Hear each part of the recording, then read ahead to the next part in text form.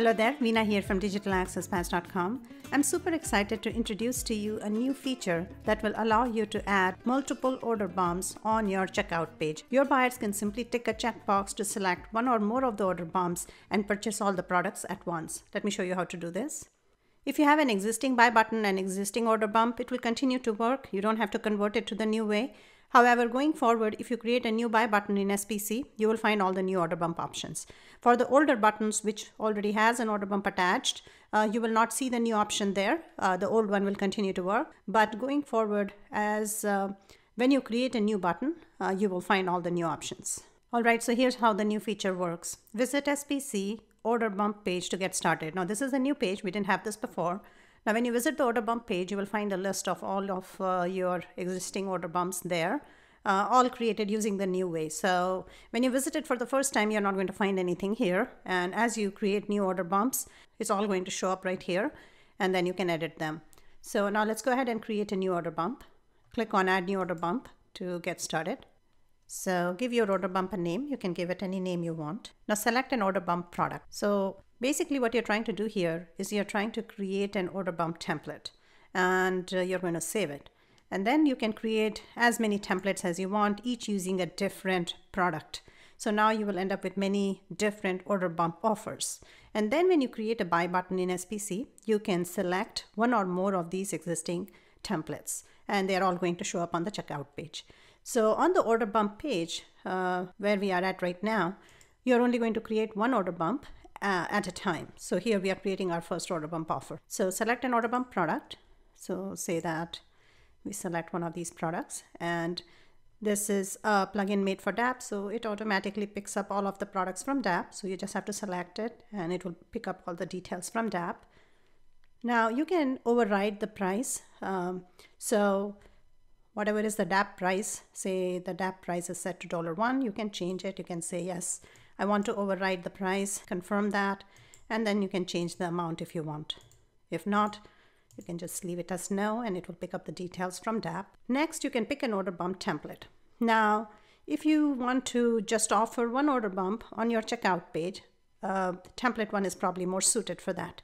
If you want to uh, display multiple order bumps on the checkout page, and allow your buyers to just tick a checkbox to select uh, all the order bumps they want to add to their order, then template 2 is more suited for that. So template 1 for just one order bump and template 2 for multiple order bumps. Now there is no restriction in terms of which one you can use. Even if you want to offer multiple order bumps and you want to select template 1, that's fine, but it'll probably look better uh, if you use template 2 for multiple order bumps. So let's go ahead and select template 2. So after you select the template, now you can customize the template. So this is template 2 and as you can see it has a checkbox, it has an image for the product, it has the product name, it has the product description and the amount. Now all of this is click and edit. So if you want to change the name, you can. If you want to change the description, you can.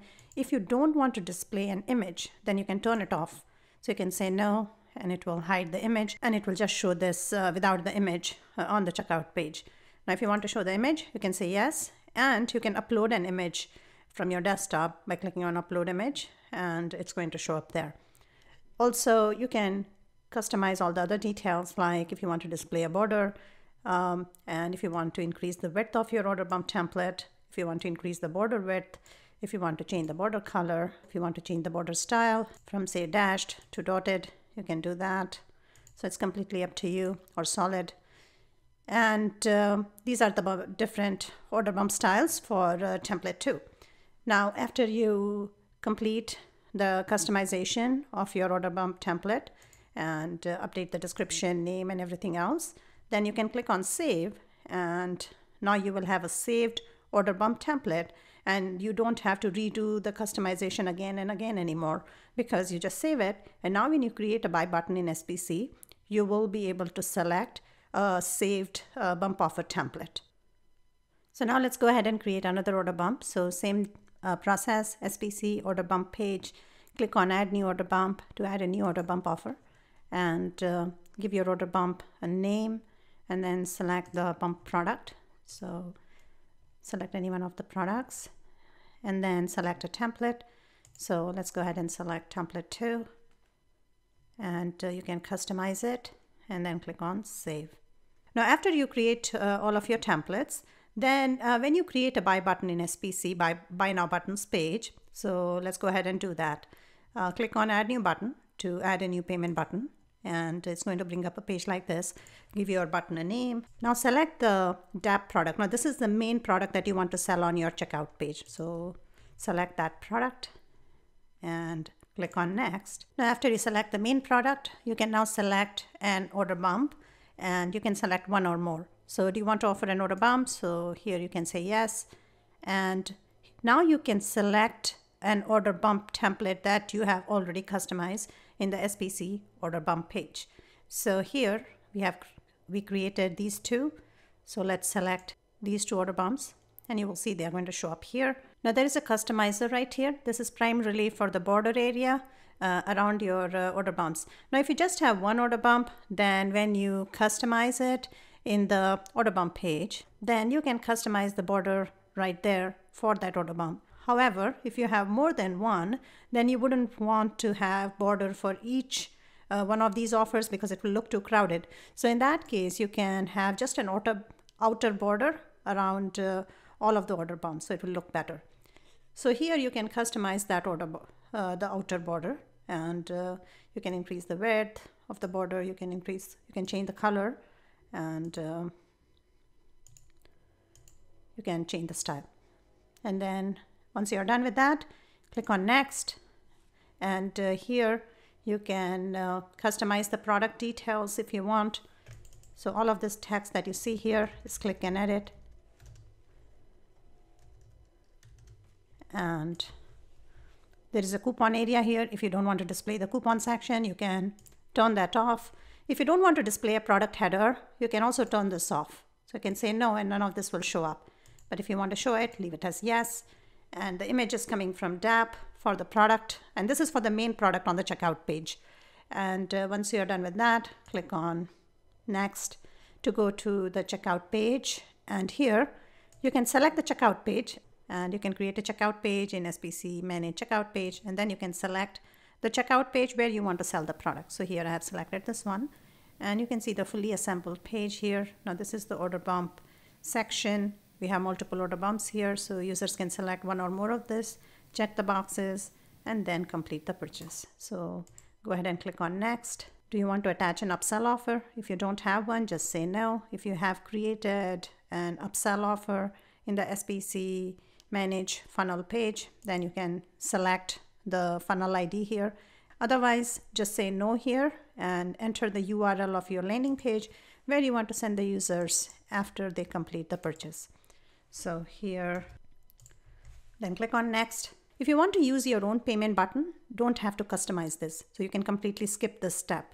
If you want to use an SPC generated button and publish this on your sales page, then you can customize it using the customizer here. Otherwise, just skip this and use your own payment button and SPC will give you a link that you can connect to your own payment button. So you can skip that uh, step one in that case. Then select the sales page URL. This is only used for tracking purposes. So select the page where you're going to be selling this product, your sales page for this product. Sandbox or live mode if you're just testing it. Set it to sandbox, complete all of your testing, and then uh, switch to live mode. Now go ahead and save your setting. It will give you a payment link. If you use your own payment button on the sales page, just connect the sales button on the sales page to this link. So when somebody clicks on your payment button on the sales page, they will land on the SPC checkout page. If you want to use the SPC button, which is what you customized in step one, if you customized it, in that case, uh, you can just publish this button code directly on your sales page. Now, after uh, you connect your payment button to the SPC link, or if you publish the SPC button, when somebody, when your buyers click on the payment button, they are going to land on this page and this is what they are going to see. Now let me show you how coupons work. Now say that you have multiple order bumps on your checkout page and uh, you have connected one or more of these products with a coupon code and uh, say that your uh, buyers visit the checkout page and they decide to take one or more of your order bump offers and uh, so they tick the checkbox and enter a coupon code now what will happen is you will notice that automatically SPC will strike out the original price and display the discounted amount. So this happens automatically if you select template number two. So if you have multiple order bumps, this is another awesome feature. Um, currently, they need to enter the coupon code here. And uh, in a future release, we will add an apply coupon option right here so they can click on it and apply it right here. But this is how it works currently. Now, if you want to offer just one order bump, then all you have to do is visit SPC order bump page and um, click on add new order bump there. And then it'll bring up a page like this. Enter a name of uh, for your order bump and then select the order bump product. And uh, then if you want to override the DAP price, you can, otherwise leave the default and select an order bump template. Now, if you just want to offer one order bump on the checkout, then just select template one because it's better suited uh, for, uh, for a single order bump. If you want to offer multiple order bumps, then template 2 is better for that. So select that. So let's go ahead and select template 1. Now you can see the customizer here. Now you can customize all the options here. Now this customizer used to be uh, in the buy button page, but we have moved it here now. So you can customize all the options here. You will see the different arrow options, animation option, everything is here. Now after you customize it, and everything that you see here is click and edit. So you can change the text, you can change the font, color, everything, and then save it. Now after you save it, it says your order bump is now saved. When you generate a buy button in SPC buy buttons page, you can select uh, one of these saved order bump templates and it will show up on the checkout page. Now say that you have an existing buy button and you have already customized an order bump and you did that using the old way, meaning uh, you when you created the buy button, then you customized an order bump right there for the buy button because that's how it used to work before. In that case, when you visit the SPC buy button and you edit the button, you are still going to find the old option. You're not going to find an option uh, for one of the newly customized order bumps. So you cannot select that since it's going to continue to work the old way. However, if you want to go to the new way and you want to use the new way for this button and you no longer want to use the order bump that you had customized the old way, then all you have to do is uh, edit the button and then where it says, do you want to offer an order bump, say no here and then save it. Now when you revisit this page, when you refresh this page, for example, uh, you're going to see that and go back to the bump offer tab. And now if you say yes here, you're going to see the new options show up.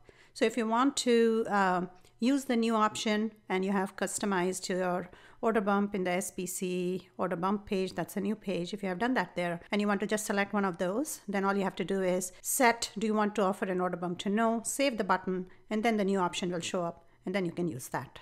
I hope this helps. You can um, take advantage of multiple order bumps to uh, very easily increase your revenue. You can double your income with very little effort because unlike upsells where you have to create a dedicated uh, sales page or an upsell page for order bumps you don't have to do any of that. All you have to do is uh, just customize your bump offer in the spc backend and as i showed you it's really easy to do that. You can very easily increase your conversion increase your profits by incorporating order bumps in your uh, checkout page. My name is veena prashanth. Thanks for watching